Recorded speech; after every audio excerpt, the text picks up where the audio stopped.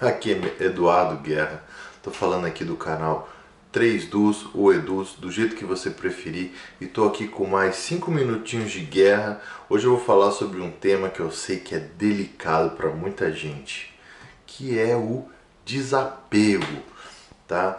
Quando a gente deve passar um jogo para frente? Quando a gente deve pegar, né, aquela um, um, uma dessas caixinhas aqui da nossa coleção e falar assim, olha, tá aqui o vou vender esse jogo, né? Vou dar lugar para outra coleção, tá? É assim, é óbvio que vezes, às vezes a gente gostaria de ter muito mais jogos que a gente teria, mas a gente às vezes tem algumas limitações. No meu caso aqui, a principal, eu moro num apartamento, a minha principal limitação é espaço físico. Então eu não consigo é, é, ter infinitos jogos aí, né? Porque ó, vocês podem ver aqui que está tudo ocupado, na estante ali de cima tem pouco espaço, então eu não consigo ter um pouco, é, não ter muito mais do que eu já tenho. Então muitas vezes a gente precisa para abrir espaço, né? Ou às vezes tem gente que também tem limitações financeiras, né? Ou seja, às vezes gostaria de um jogo novo, mas é, é, para poder adquirir ele, às vezes é, é, gostaria de estar vendendo algum outro jogo para poder, às vezes que não está sendo muito jogado, para poder é, é, pegar aquele jogo novo, tá? Nessa questão do desapego, tá? Eu puxo aí a, a imagem aí do Toy Story, né? naquela questão lá dos brinquedos, né? O brinquedo é, é, popular, né? O mais popular entre os brinquedos era aquele que era mais usado ali nas brincadeiras, né? E aquela que quando o menino cresce ele começa a, a brincar menos e aí com isso é, ele fica ele acaba, é, os brinquedos acabam ficando tristes porque ninguém está brincando com eles, né?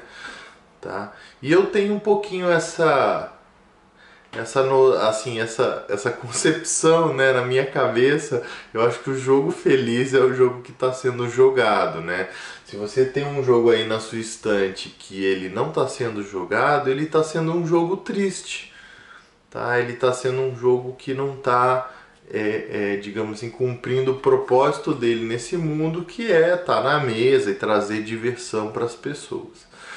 Tá? Vou, vou pegar aí o emocional de todo mundo, que eu sei que quase todo mundo aí é, é, deve ter dado aquela choradinha no final lá do Toy Story 3, né? Naquela hora ali que ele brinca ali com os brinquedos da última vez, né? E quem não chorou, pelo menos entrou um cisquinho aí no olho na hora lá e tal, deu aquela disfarçada, né? E aí você vê como os brinquedos às vezes não queriam deixar ele, né? E na hora que eles vão para uma casa, que eles veem que eles vão brincar muito mais com eles lá, né? Que eles, ele, eles falam, olha, legal, tipo, eu tinha aquela resistência de mudar, mas é, é conseguir sair daqui. Né? Então, assim, eu tenho essa noção para ter o desapego aqui aos, aos meus jogos. Né? Eu lembro que o primeiro jogo que eu vendi, ele foi um jogo que eu estava querendo muito, né? eu estava naquele começo de coleção e, e buscando jogos é, é, que eram meio parecidos com os jogos que eu gostava, né? na época eu gostava ali de jogos de Dungeon Crawler e tal. E, e, e, aí eu acabei comprando o Flashpoint por ter essa pegada, né, cooperativa e tal. E só que foi um jogo que eu botei na mesa, eu sei que tem muita gente que gosta, não é isso que eu estou julgando, mas eu olhava para os jogos que eu já tinha e falava, puxa vida, eu vou sempre preferir jogar um desses jogos que eu já tenho do que esse. Né? E, e esse é meio que o meu critério para é, é, para decidir se eu fico com um jogo ou não. Se eu tenho às vezes muitas vezes um jogo parecido com aquele e eu falo assim, nossa, sempre que eu tiver vontade dessa, dessa experiência, eu vou sempre aquele jogo ali me prover uma experiência que eu gosto mais do que essa outra. Note que eu não estou julgando se o jogo é bom ou ruim.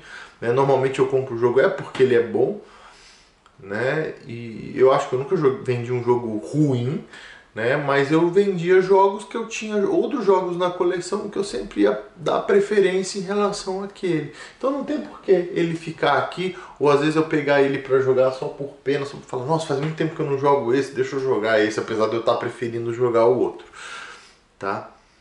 Bom, então é isso, gente. É, é, muitas vezes não vale a pena ficar com o jogo parado. Tem muita gente que fica o jogo muito tempo lacrado aí.